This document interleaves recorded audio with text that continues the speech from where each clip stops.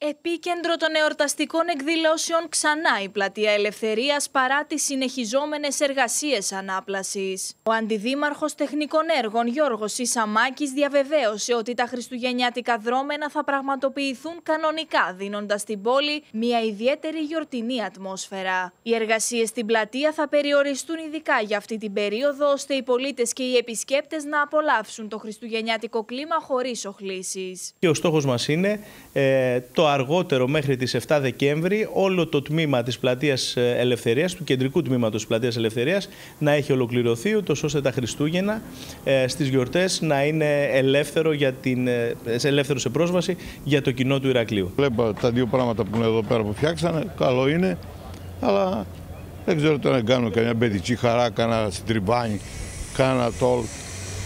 Αυτά λείπουν από εδώ πέρα. Άμα τα φτιάξουν και κάνουν μόνο αυτά, μια από τα ίδια θα είναι. Πιο πολύ πράσινο, να σου πω την αλήθεια, γιατί νομίζω πως λείπει από το Ηράκλειο.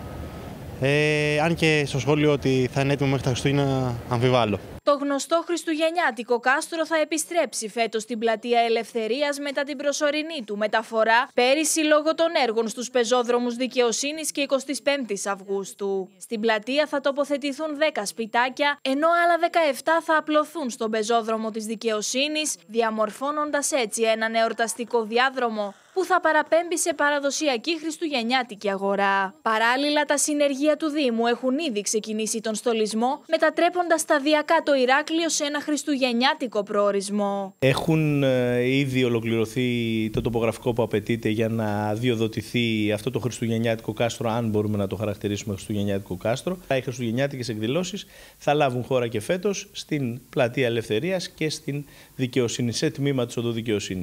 Τώρα η πολλή αναμονή πιστεύω ότι κάνεις ζημιά και στα καταστήματα και στον τουρισμό και αυτά. Τι να πω κι εγώ. Πιστεύω ότι όσο, αλλά τα έργα δυστυχώς στην Ελλάδα αργούν. Το μισό που βλέπω καλό μου φαίνεται. Τώρα το άλλο μισό δεν ξέρω.